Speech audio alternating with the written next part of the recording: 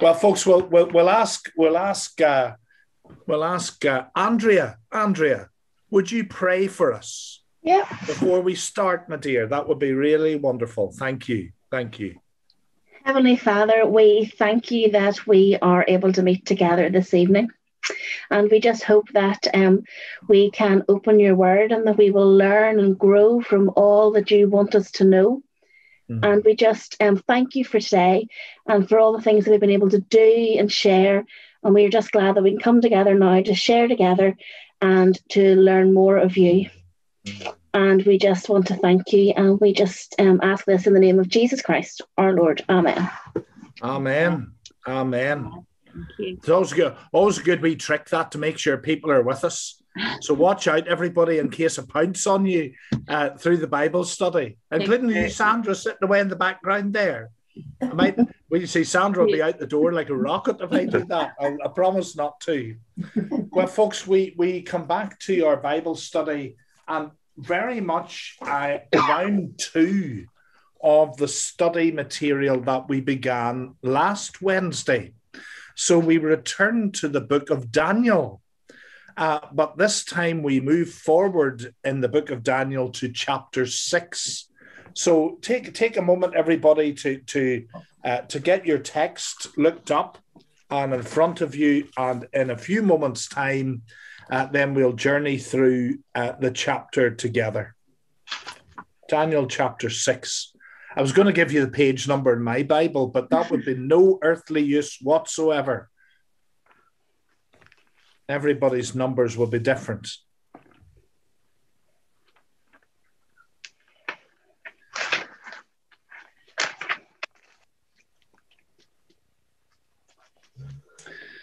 So what we're going to do is, is I'm going to fly through the chapter just to, to give us a, a skim through the text itself. But then we'll come back and highlight the major happenings and the groups of verses that those major happenings can be found in. Uh, but let me read from verse 1 of chapter 6. And the lions that I had up last week make a, make a return and, and a starring role this week. Darius the Mede decided to divide the kingdom into 120 provinces, and he appointed a high officer to rule over each province. The king also chose Daniel and two others as administrators to supervise the high officers and to protect the king's interests. Daniel soon proved himself more capable than all the others and the, all the other administrators and high officers. Because of Daniel's great ability, the king made plans to place him over the entire empire.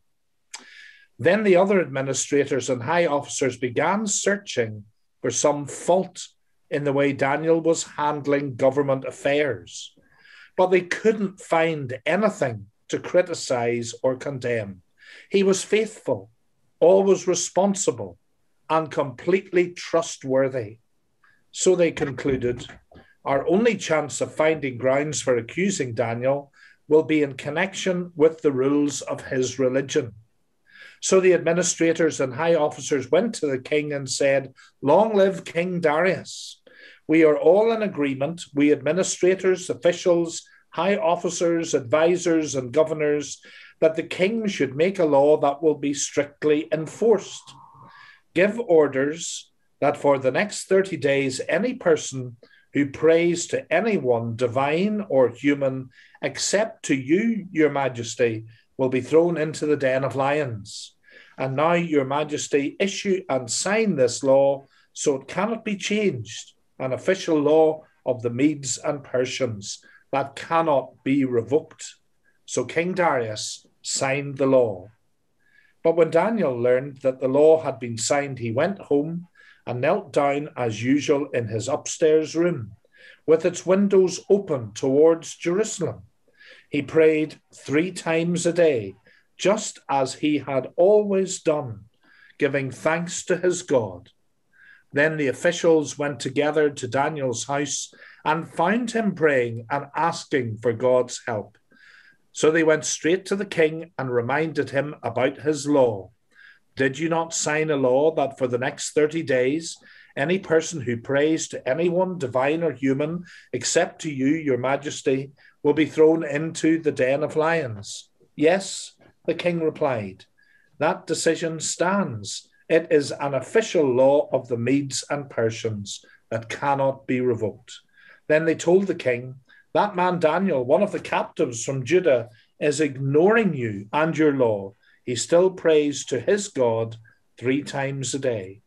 Hearing this, the king was deeply troubled, and he tried to think of a way to save Daniel. He spent the rest of the day looking for a way to get Daniel out of this predicament. In the evening, the men went together to the king and said, Your Majesty, you know that according to the law of the Medes and Persians, no law that the king signs can be changed. So at last the king gave orders for Daniel to be arrested and thrown into the den of lions. The king said to him, May your God, whom you serve so faithfully, rescue you. A stone was brought and placed over the mouth of the den. The king sealed the stone with his own royal seal and the seals of his nobles, so that no one could rescue Daniel.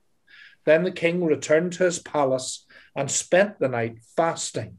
He refused his usual entertainment and couldn't sleep all that night. Very early the next morning, the king got up and hurried out to the lion's den. When he got there, he called out in anguish, Daniel, servant of the living God, was your God, whom you served so faithfully, able to rescue you from the lions? Daniel answered, Long live the king. My God sent his angel to shut the lions' mouths so that they would not hurt me, for I have been found innocent in his sight, and I have not wronged you, your majesty. The king was overjoyed and ordered that Daniel be lifted from the den. Not a scratch was found on him, for he had trusted in his God. Then the king gave orders to arrest the men who had maliciously accused Daniel. He had them thrown into the lion's den, along with their wives and children. The lions leapt on them and tore them apart before they even hit the floor of the den. Then King Darius sent this message to the people of every race and nation and language throughout the world Peace and prosperity to you. I decree that everyone throughout my kingdom should tremble with fear before the God of Daniel. For he is the living God, and he will endure forever. His kingdom will never be destroyed, and his rule will never end. He rescues and saves his people he performs miraculous signs and wonders in the heavens and on earth. He has rescued Daniel from the power of the lions. So Daniel prospered during the reign of Darius and the reign of Cyrus the Persian. This is the word of the Lord. Thanks be to God. Well, folks, a, a long passage, but a full passage, uh, a very well known uh, tale within the adventures of Daniel in the book that bears his name.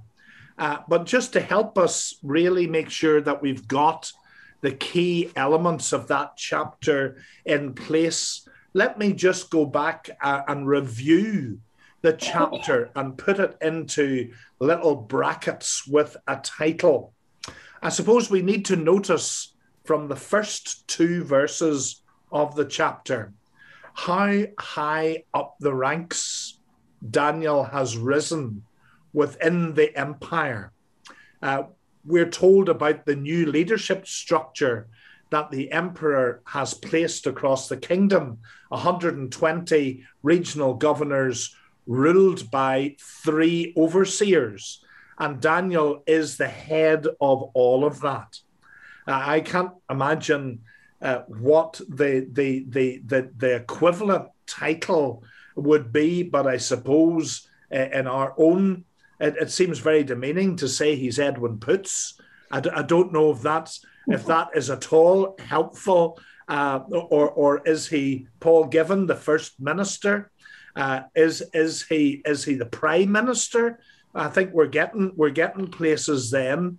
Uh, that you, you know he has risen right up through the ranks, and because no doubt because of that his popularity, how good he is at his job.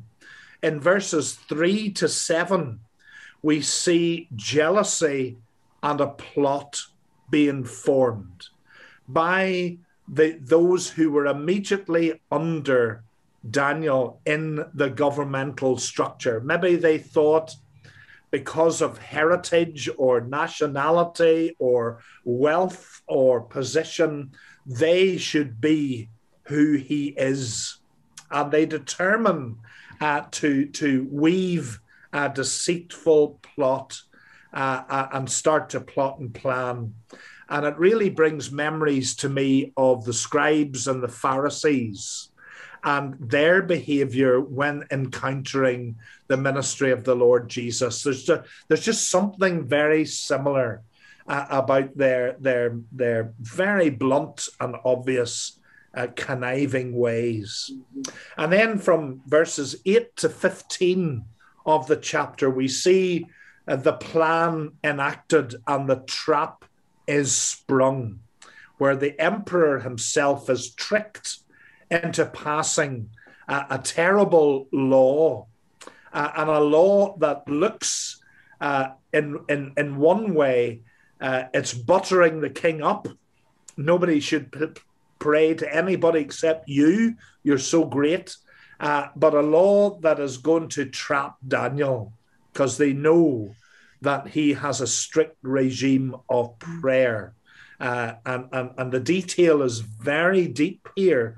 The windows of Daniel's house are open, uh, they're facing where Jerusalem would be, and three times a day, Daniel would be found there praying to his God. And they, they know all of this. So the trap is sprung. And then from verses 17 to 22, we have the, the, the long night. Uh, the king tries everything uh, to, to get Daniel out of the predicament.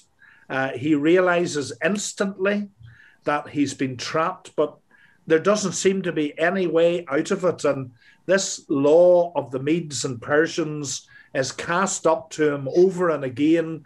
You know, great king, no law like this that's been signed can ever be broken and and he knows that only Daniel's God will save him from this uh, pit filled with lions.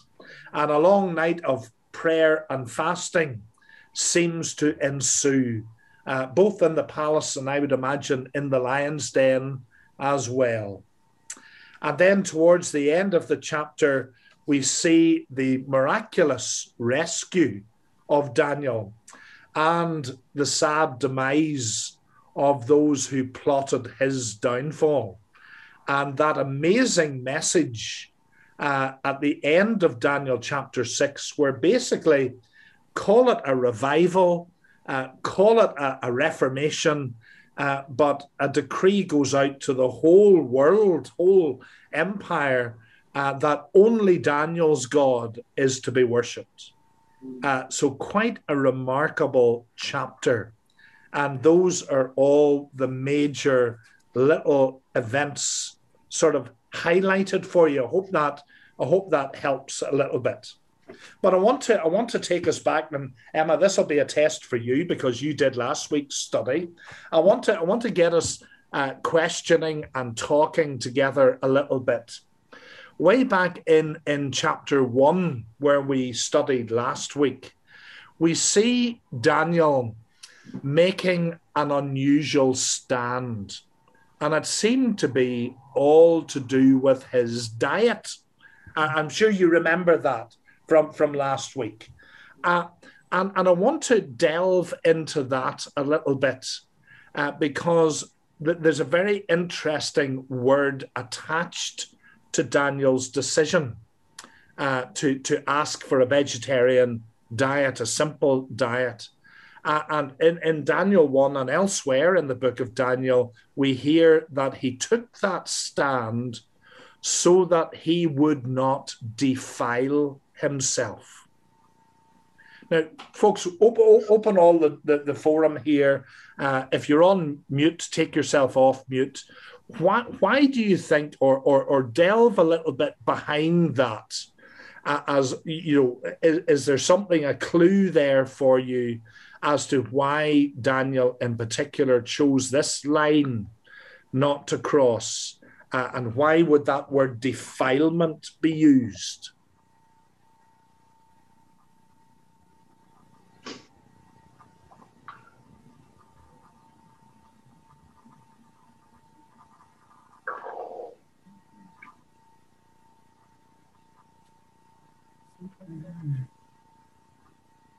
Any ideas? Maybe not on the defilement of sin. And uh, maybe it was a great sin in his eyes if he had eaten something that wasn't allowed, you know, it wasn't allowed for the, the Jewish people.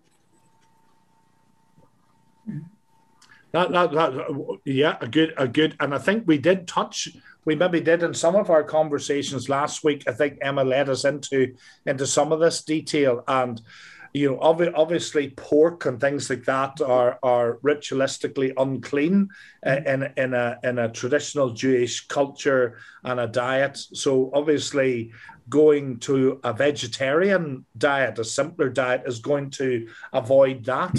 I think I think Alec, I'm pushing you a wee bit more in that I think there's a wee bit more to this uh, that is good. It's good for us to know. Mm-hmm. Any, anybody else got to venture a, a theory?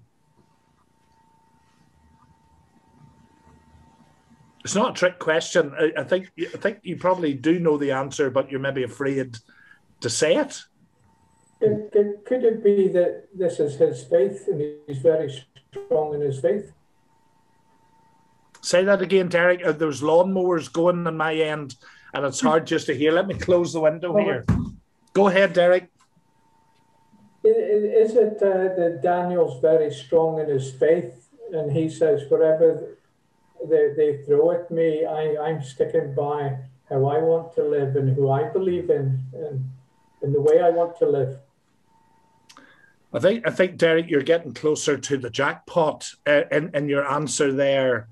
Uh, in, in that scholar, scholars who know the history the period of history that Daniel is set in and the country and the countries of the empire that Daniel is set in, it would be absolutely commonplace, especially uh, uh, not just in palaces, but in every humble home, uh, for the food that is about to be eaten to be dedicated to a whole host of pagan gods. Mm-hmm. And that, that is an ongoing issue right up to our Lord's time. Mm-hmm. And he himself is questioned several times by, by, by Jewish lawyers about what you should eat and when you should eat it and how you should eat it. So there, there, there I think, is behind uh, the, the, the decision that Daniel made. He was deciding that he needed to remain pure in God's eyes. So, Derek, you are coming very, very close. And, and Alec, he didn't want to, to uh, act in any sinful way. He didn't want to uh, inadvertently or deliberately be part of the worship of a set of foreign gods.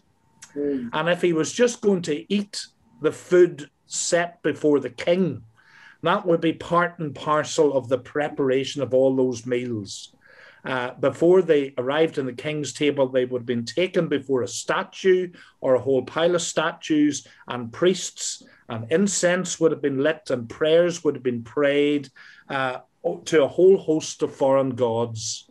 Uh, so the defilement, the avoidance of defilement, right back in chapter one, shows an intention in Daniel uh, not to cross any line that would impair his faith in his God.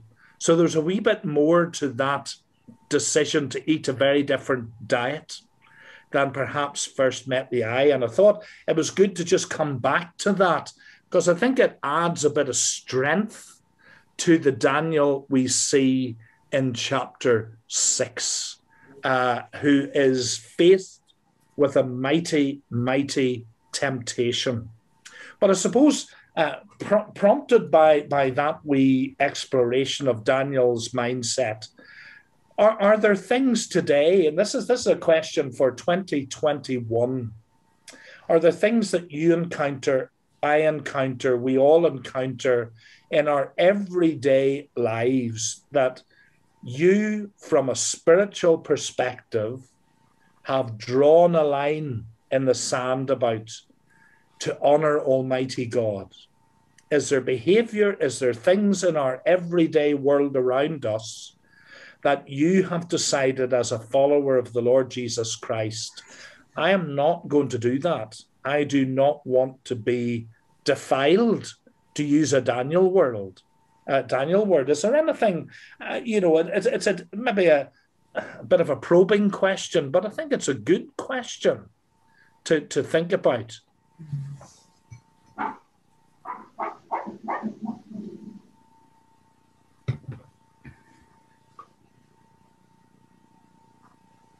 Well, I could think of some things, but I mean, uh,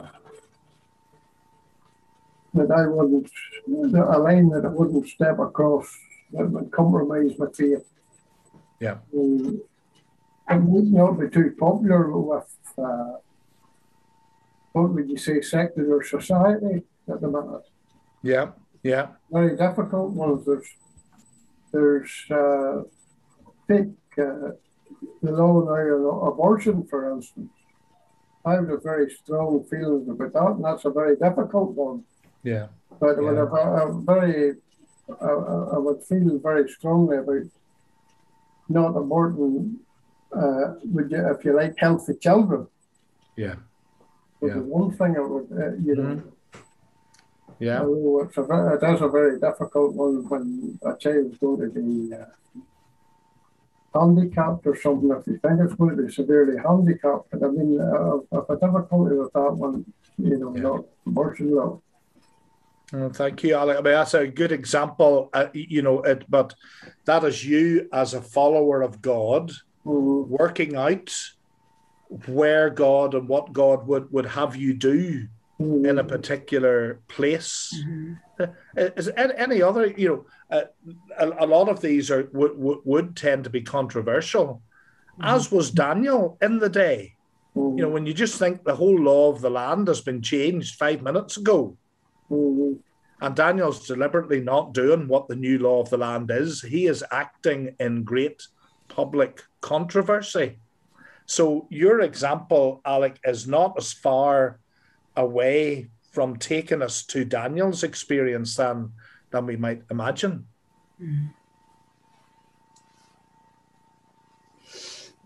I mean, a, sim- a simple one for me because, you know, for, like it or not, I, I am a season ticket holder for Ballymena United Football Club, mm, and every time there, there's a home match, I am faced with the temptation of swearing like a trooper from five minutes before the match starts to 15 minutes after the match ends because everybody round me, including youngsters that can hardly walk, but their vocabulary is very advanced.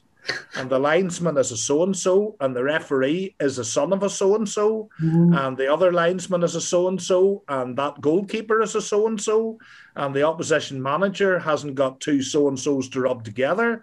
and that for, for the entirety of the match, if you want to join in uh, with what is supposed to be banter, your language, my language, would have to totally change. Mm, And do you know the temptation is it, it sounds silly, but it's not silly no, because you're the only one.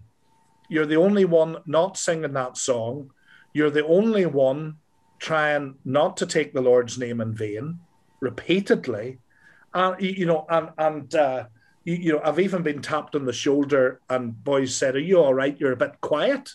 you know, and but I, I I don't want to cross that line. I, I don't want to cross that line. I don't want to take the Lord's Lord's name in vain, and I try, not just in a football match, but wherever I am, not to just join in with the way that society speaks, which is appalling.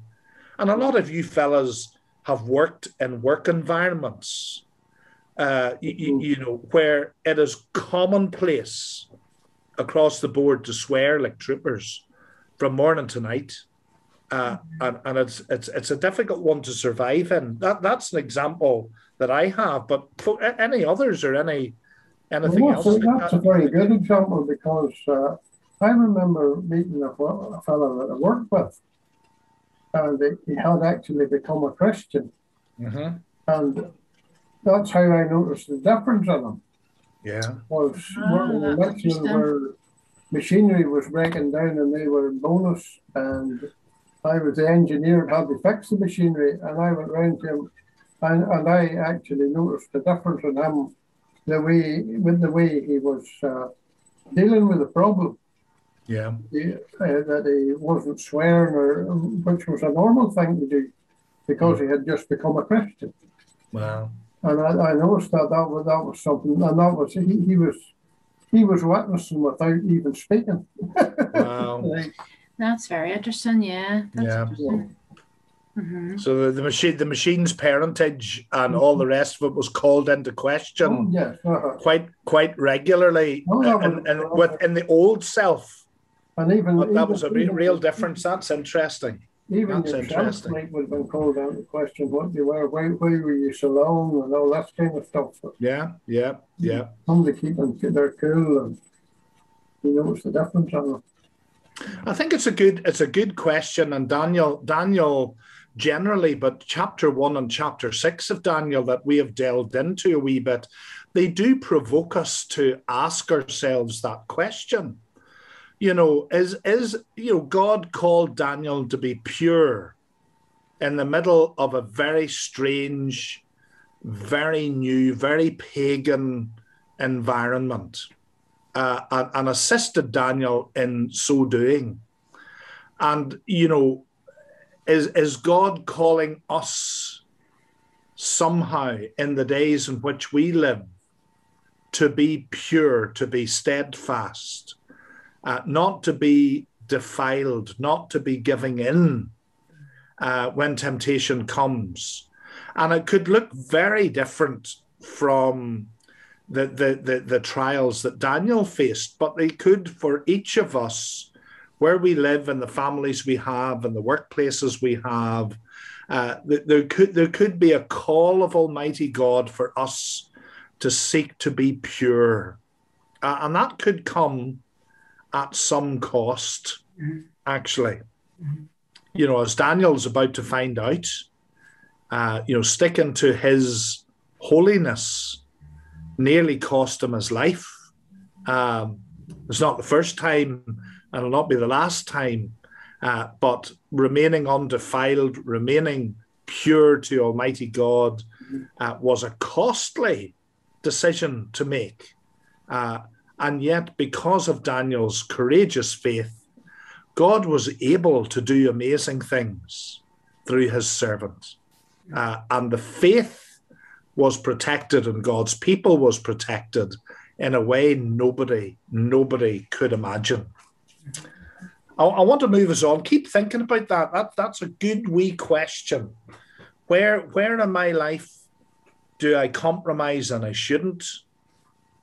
Where am I? You could ask the opposite question, which is equally biblical, actually.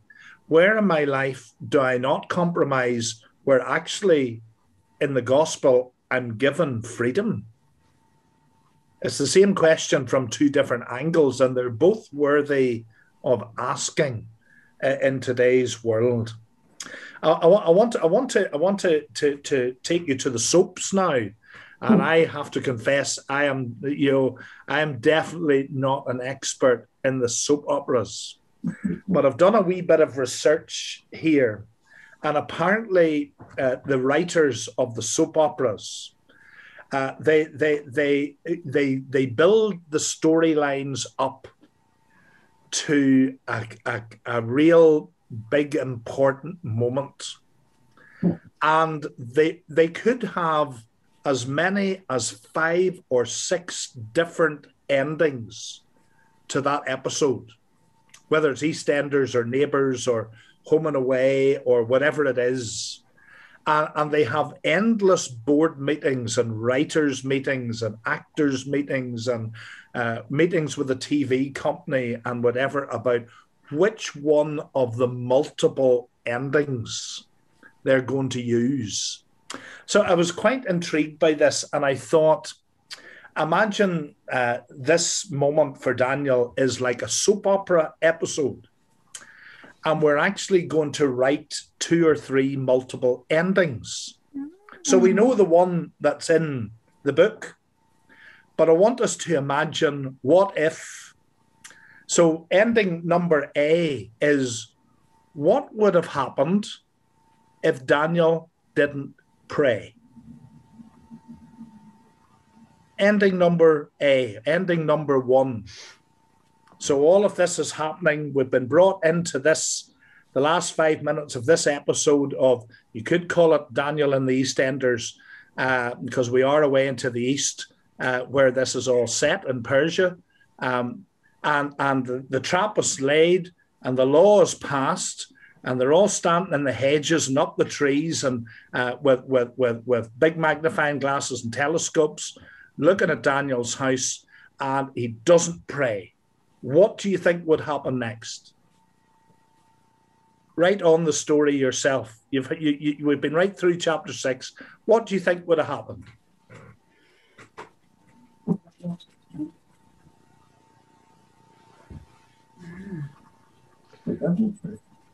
If he hadn't prayed I haven't prayed. at all. Probably wouldn't have worked out. Wouldn't have stood him in very good stead, I suppose. You know. I don't know, Emma. He, I mean, he would he wouldn't have broken the law. He wouldn't have ended up in the lion's den, Mm-hmm. uh, and he probably would have would, would have sailed on in his job as prime minister. I know, That sounds pre- that sounds pretty well, good to you me. know, but it's, it depends on you know in where you want to stand. You know, what Well, I, I suppose he would have been compromising his witness for God, or for his God. but could he have not got that back again on track, Golly? Probably. But I mean, Well, if, if he's praying three times a day, yes, he probably would have got it back on track. Would they not have just gone away and tried to try to think of something else to catch him out on? hmm Obviously, that's Uh, I have to have a think about it again. Aye. So, I, I, yeah, I, I'm, I'm being a bit naughty in this, but Ronnie, I think you're picking up the scent here as a good bloodhound. Those folks wouldn't have gone away. hmm hmm You know, if, if Daniel thought the way to get rid of this danger, this temptation, is just to keep, literally in this case, keep head down, or, or even pray with the window shut, or something. Those boys, I don't think they would have relented.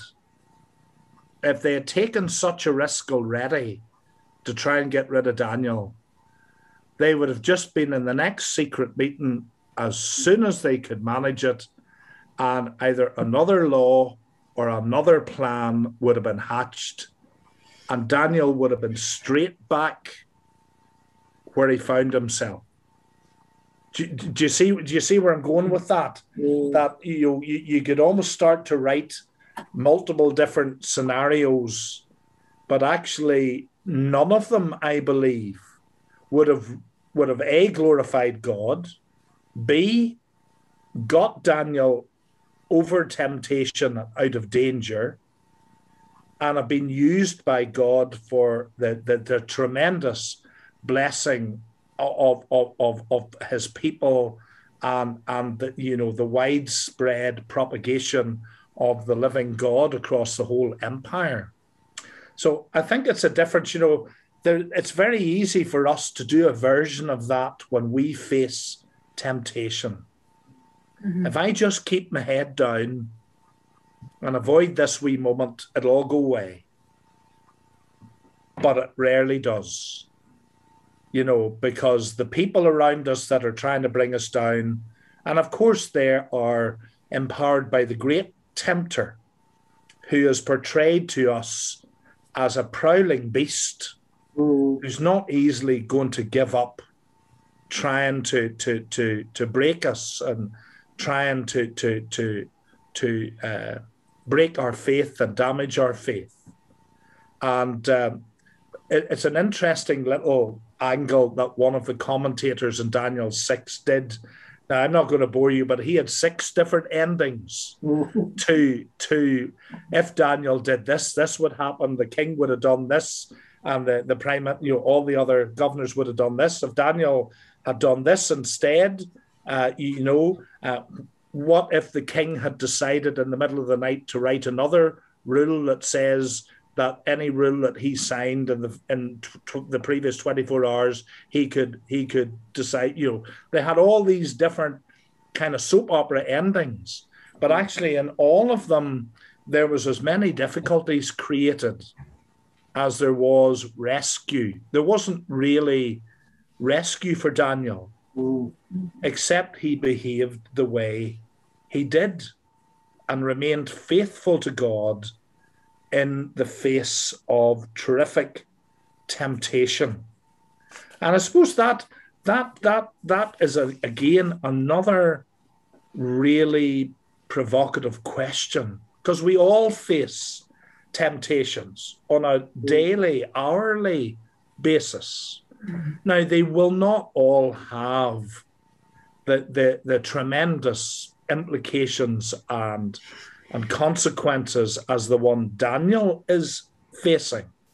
But in a sense, every big or small temptation is about whether we trust God, trust ourselves, uh, or trust fate and fortune Mm.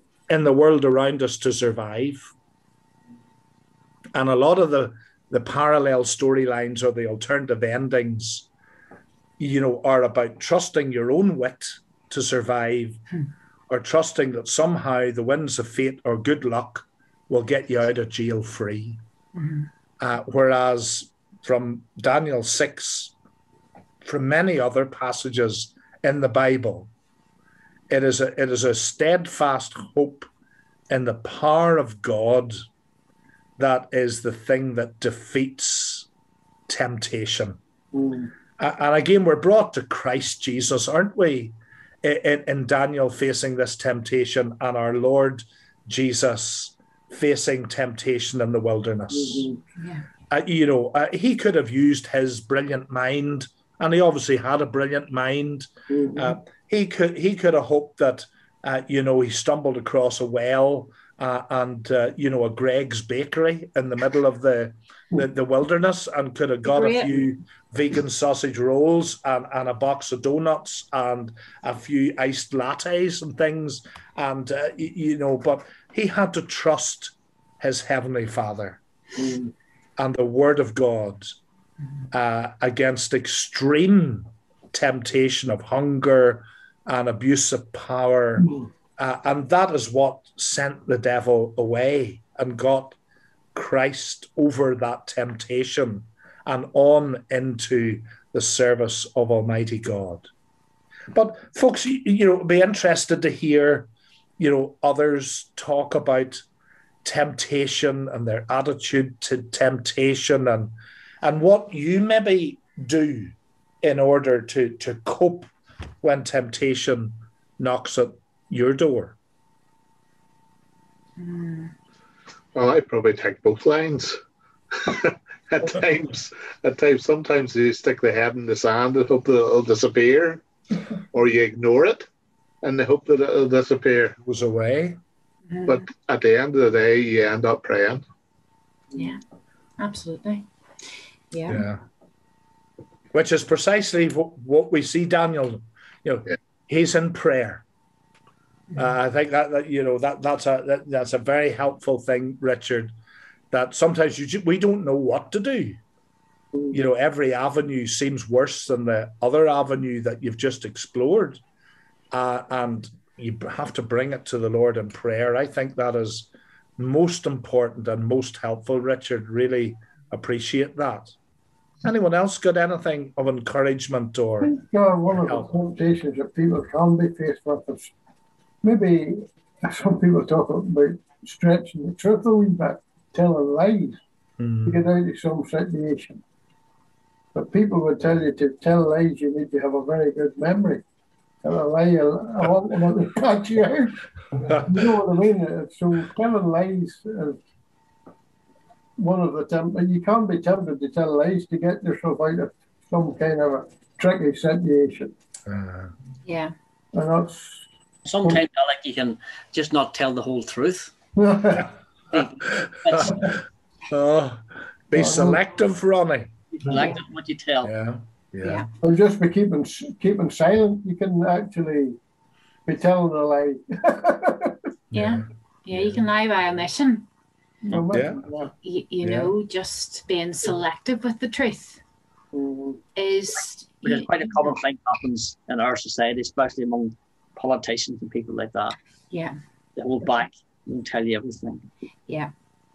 And, you know, being good Church of Ireland folk, you'll all, you'll all, you, you know that the prayer book prayer, when we're saying sorry for what we have done By what we have. and for what we have not done.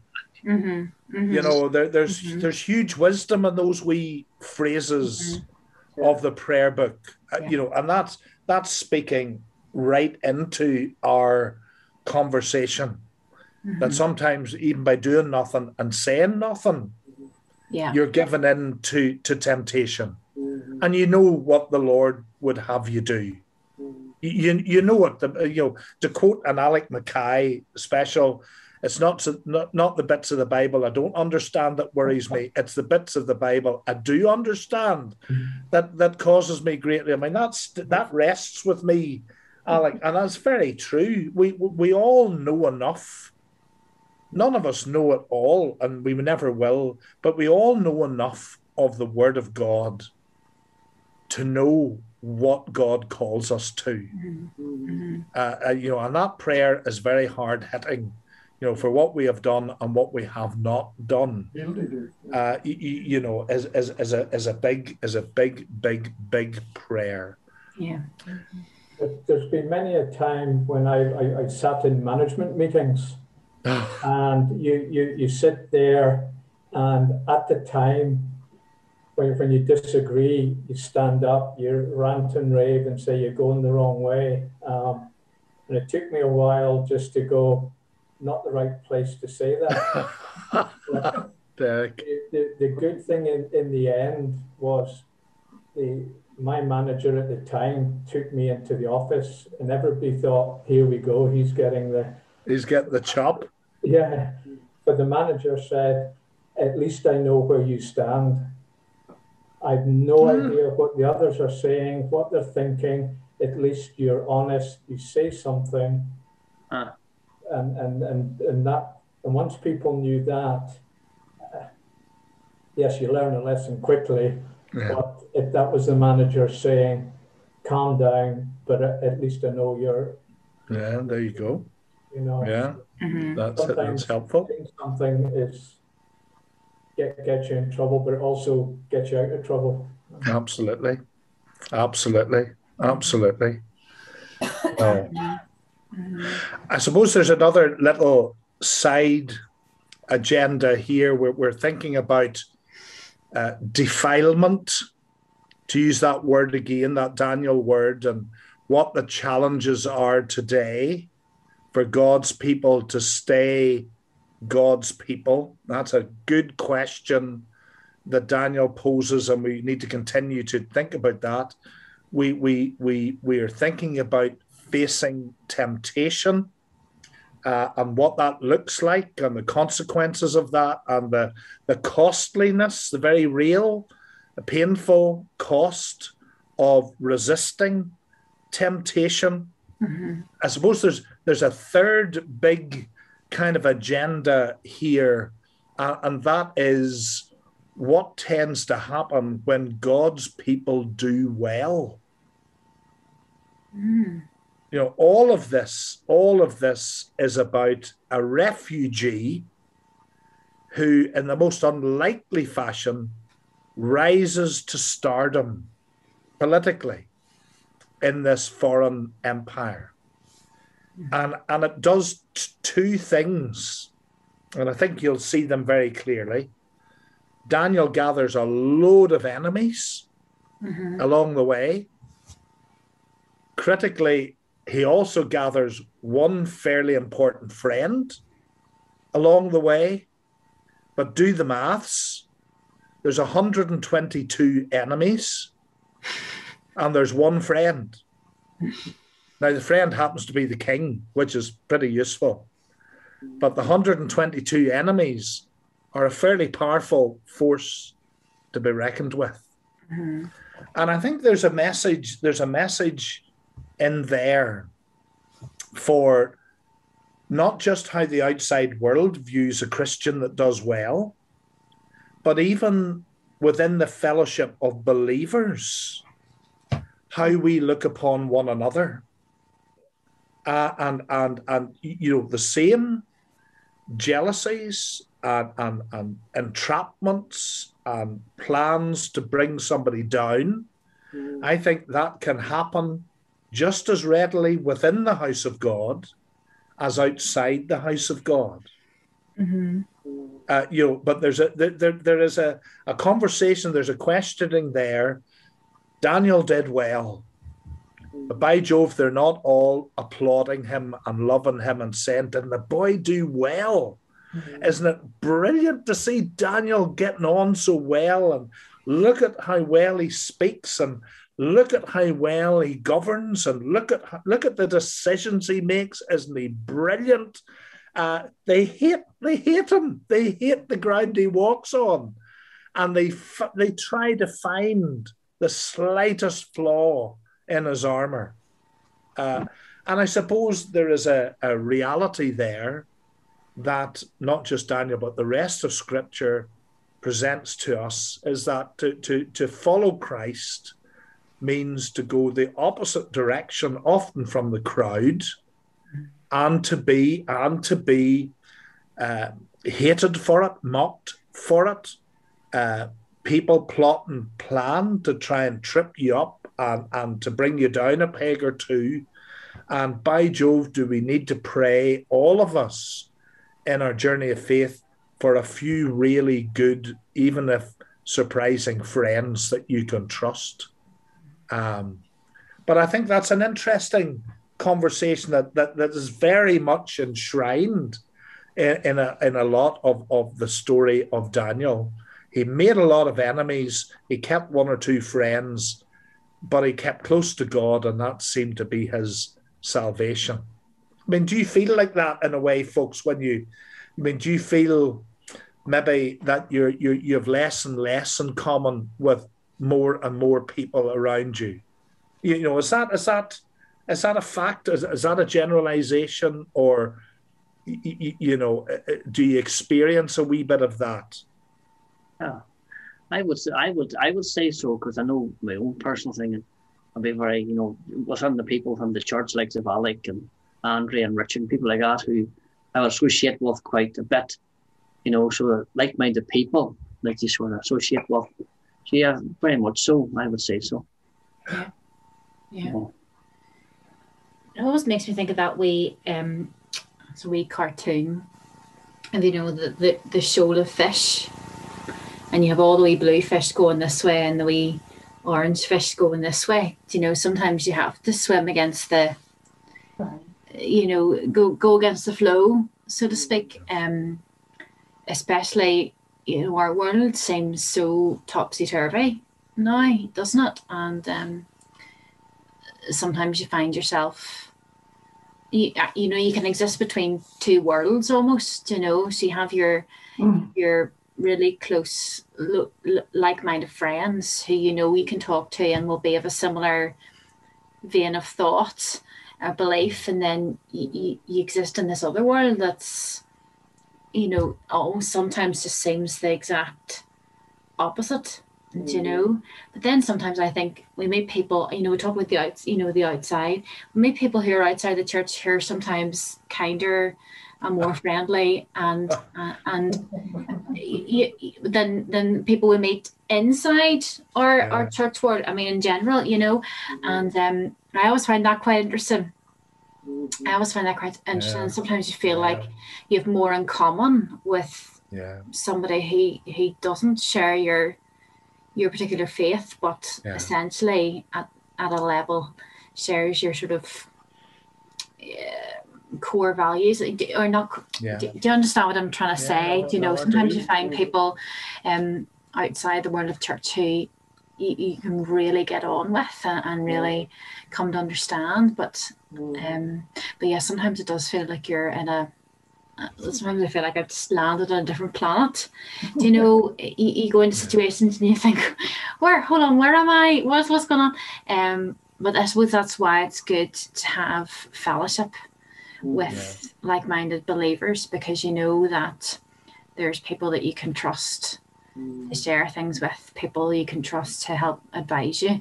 Um, you know, when you face situations outside, so to speak, that are difficult. I don't know whether that answers your question, Mark, but um, No, I think there's lots of nodding, Emma. So uh, I think you're touching a nerve with a lot of folk with what you've said. mhm, Um, Mhm. you, you, you know, uh, and it's it's interesting. I'm not in agreement with the commentators that would would, would say that the lions in, in this story are not real. They're mm, figurative. mhm, and they're asking us to think about the sort of things that surrounded Daniel. mhm, So he was surrounded by human enemies, and he was surrounded by wild, wild. You know, uh, that that there weren't real lions because that's ridiculous to think about lions sitting in a room with you with an angel with their mouths shut. And it's a particular school of of of of, of approach to the Bible that I, I don't I don't agree with, but they try to find a nugget of truth. Uh, and and you know, for Daniel, it was like being surrounded by wild animals, but of course, he wasn't really surrounded by wild animals. Uh, you know, he was in the middle of an alien culture that wanted to tear him apart, but he wasn't actually in a sealed cave with animals that could tear him apart. Y- You know, as people trying to find some of the elements of truth in God's word, but they can't take the mysterious and the miraculous in God's word at face value. I mean, there, there's something to be learned from that, uh, even if you disagree with the approach to scripture that folks make. mhm. Uh, but but there is an approach to scripture and to stories like this and many others that that is sometimes hard to understand. Uh, and- and you're asked to either remove elements of the story or change elements of the story to make them more more normal, more and more and normal and human experience. But the end of Daniel chapter six kind of tells us that they, they, these were, you know, the lions acted like lions at the end of the story Oh, in, yeah. in a fairly brutal fashion. You know, they tore a whole pile of people to shreds before they even touched the bottom of the pit. So uh, you you, you know, there's a the, the scripture contradicts that that approach almost, but I, I appreciate what those commentators are trying to say that for the people of God, it can feel like you're in the jungle. It can Mm. feel like everybody's out to get you. It can feel like you're very alone. Uh, and you really need to pray that God sends you, uh, you know, a very good friend, uh, like the king in this story, who was Daniel's only only mate at this stage in chapter six, uh, and even he was powerless to stop Daniel going through that intense examination. Mhm. Um, but I suppose we're, we're we're to be prepared for, you, you know, as followers of the Lord Jesus Christ. And what is the scripture? You know, we should not expect to be treated in any wise different from Christ Himself. Mhm. You- You know, what are we called to do? To pick up our cross and follow Him. Because you, you can't get any clearer scriptures that, you know, to be a Christian at times is going to be tough and isolating. But if that's what it takes to follow Jesus without defilement and overcoming temptation, he will be with us in the journey we're called to take, no matter how difficult it is. Um, and I, th- I think those are the key little areas in in Daniel chapter six, and remarkably, we continue to see God drawing a, a, a blueprint, a, a unique blueprint, a plan to protect God's scattered people and even propagate the worship of the living God Mhm. uh, through one pretty insignificant gentleman's courage, faith, and obedience. Mhm. Uh, and God added a mighty dimension uh, to to uh, an argument about a prayer time, which which seems you, you, know it's remarkable uh, that that an argument about a prayer time, a prayer meeting, ended up in a decree that propagated the worship of the living God across a whole empire. It- It's quite astonishing. Uh, uh, and uh, I have to confess to liking the fact that the bad guys get get it Yeah, in the end of this story. They they they get everything. I feel a wee bit sorry for the wives and children. I don't know them personally. It's a, it's a, it's a bit grim that they're thrown to the lions as well. But the, but their husbands, I presume they're their husbands. They had it coming to them, and it, it- it's it's a wee bit satisfying. Dare I say that? And I probably shouldn't. That, that that they're munched and there's great depending on your translation there's great depiction about their bones being munched and all sorts of things uh, in in the in the traditional versions, the King Mm. James version of, of, of Daniel chapter six. Uh, I had a I had a, a New Living translation that's been specially adapted for younger readers, so they put things across in a slightly more gentle manner than maybe your versions do. But folks, we've we've we've outdone ourselves in in in time Mhm. um, I, I, I think that that uh, it's difficult just to cherry pick a couple of chapters out of a huge book. Uh, it is a wonderful book to read. There's many more adventures, many more challenges for Daniel, uh, many more challenges for Almighty God presented in this period of history that his people are in. Uh, but we're simply highlighting the fact that uh, God's blueprint can take many forms, uh, many, many different forms. He can bring success from apparent failure. He can do global things from the belief and behavior of one small individual. Uh, and, and, and, and he is an amazing God, and his power knows no boundaries. Mhm. So, decide to, to not defile yourself. Take lessons from the book of Daniel about how we face temptation. Be aware that if you're being faithful to God, you are already gathering enemies. And, and God willing, you will have a, a friend, a godly friend in need.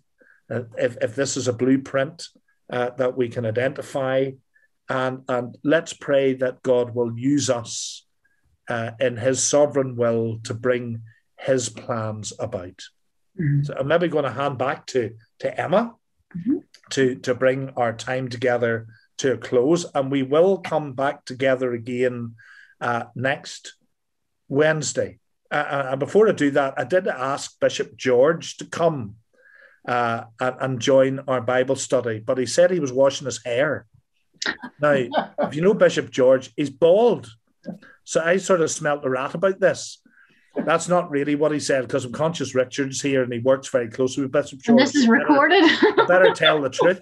And uh, Bishop George is so busy, he couldn't, he didn't have a Wednesday night free, but he has promised that in the far side of the summer, he wants to come and play a regular part in a series of Bible studies that we will run either gathered or by Zoom.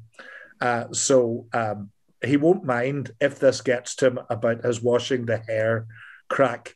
I hope, uh, or uh, it was nice knowing you all. And uh, I, I will be in Craggy Island as the rector uh, in the near future, uh, looking after sheep. It's not available uh, in and uh, Dougal and Father Yeah, Jack. you go, all the Ralph. rest of it. Drink, drink, girls. um, but um, you know, so I'm looking forward to that. To to Yeah. our bishop coming and uh, encouraging us uh, and being part of our conversation. He, he really welcomed the invitation and looks forward to making it happen when he's got some time in his diary and the hair is all sorted out. So I better stop that now. So well, Um, Emma, I'll hand over to you. thank you. uh, Thank, to take, take, take, take this home in prayer for us. Yeah, thank you, Mark. I really I enjoyed that tonight. It was good to um read with the lions. And I I was thinking about you read the news um about the the fisherman from the states who was in the mouth of a humpback whale, by wheel. a modern day Jonah. So there's so there's stranger things. There are things out there that we cannot understand. So No. um I thought that was I thought that was quite funny, but um Still happen. uh, it could still happen. It could be a damn lion somewhere, but um, but thank Mm. you anyway. It just made me laugh. But uh, let let's pray together. Mm. Um, Father, we thank you for the gift of your word. Um, thank you for Mark for um, opening it up to us tonight. Um, Lord, we pray that you would continue to speak to us. And the psalm says, you know, I meditate on your word day and night. And speak to us um, throughout the day, uh, the night, and the day to come from your word. Mm. May there be something from it that really speaks to us and sticks with us. Thank you, Lord, that your word is true and active in our lives. It has been from the beginning and will be until the end. And that we can trust the truth of your word to us. We just pray you would bless each one of us and be upon those um, that we love. Be with those who are unable to join us tonight and those who will be watching and listening at a later date. So we thank you, Father, and we pray all these things in your Son's name and by your Spirit. Amen. Amen. Amen. Thank you, folks. Great to see you. Yes, thank you, everybody. always, Thank you, one and all. yeah. Derek, it's all, I'm always delighted that you make it. I'm all, I'm kind of used to you disappearing and, and just becoming a blank screen. It's always a joy when you're here to the very end. It's it's a, it's a pleasure after all those weeks.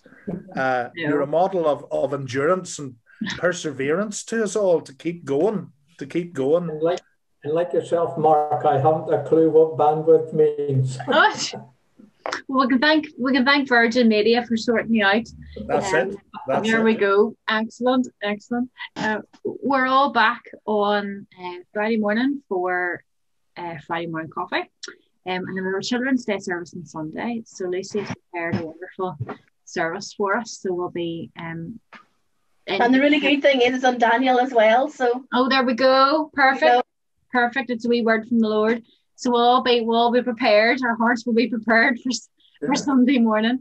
Um, so we'll look forward to seeing you all and do take care. God bless you and uh, see you soon. Thanks for joining Night, us. night, All everybody. right, take care, everybody. Night, night.